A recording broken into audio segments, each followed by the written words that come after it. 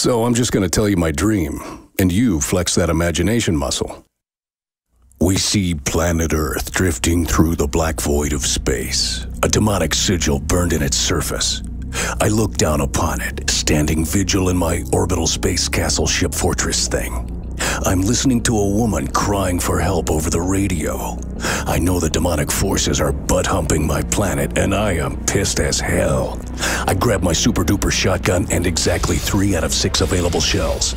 That's not enough, but that's okay. I also have my trusty wrist blade. Then I put on my iconic helmet. As the portal leading to Earth's surface powers up, I feel my huge dick pushing against the inside of my suit of tech armor. I'm ready. I reload my gun.